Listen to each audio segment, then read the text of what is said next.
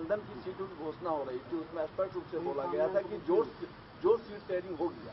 उसके अतिरिक्त अगर कोई भी मतलब कि दल अगर वो फ्रेंडली खड़ा करते हैं या इसके खिलाफ खड़ा खड़ा करते हैं तो वो गठबंधन से बाहर जाए तो क्या कह रहे हैं? क्या सुन सुन सुनिए। यही चीज़ बोल रहे हैं कांग्रेस ही बोल रहा है गठबंधन टूटा तो आखिर को कैसा गठबंधन माना? अभी नॉमिनेशन का समय बाकी है। हम लोग मिल बैठ करके हमारे नेता प्रदेश स्तर से लेकर के राष्ट्रीय स्तर तक के लोग इसको पैचअप करने का काम करें। अगर कांग्रेस ये कहे कि अगर अगर कांग्रेस ये कहे कि गठबंधन को बचाने के लिए अगर आपको मतलब कि प्रत्याशी वापस लेना कि आरजेडी लेगी।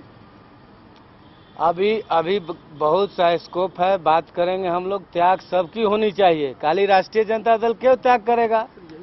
कांग्रेस भी कहता है कि सिर्फ़ कांग्रेस त्याग क्यों करे? बिहार में कई सीटों पे त्याग, झारखंड में त्याग, सिर्फ़ कांग्रेस त्याग क्यों करे? कांग्रेस की कहाँ त्याग करने की बात हुई है? कांग्रेस तो पिछले चुनाव में बारह सीट पर बिहार में लड़ी थी।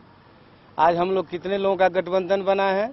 आरएलएसपी आ गए, वीआईपी पार्टी आ गई, और शरद जी आ गए। हम आ गया। उसके बाद में भी कांग्रेस को नौ सीट से नवाजा गया है। कहाँ कम किया गया है? तो, ये मान रहे हैं कि कांग्रेस को ही सीट छोड़ना पड़ेगा आरजेडी बैकफुट पे नहीं आएगी चतरा को। अरे अट्ठाईस सीट से आकर के हम लोग उन्नीस पर लड़ रहे हैं बिहार में। हम लोग लोग ने नौ सीट का त्याग किया है कांग्रेस का तो तीन सीट कम हुआ है। झारखंड? अच्छा झारखंड में भी हम लोग 2004 में दो सीट पर लड़े थे दो सीट पर जीते थे। सर एक और सवाल इसमें। अन्नपूर्णा जी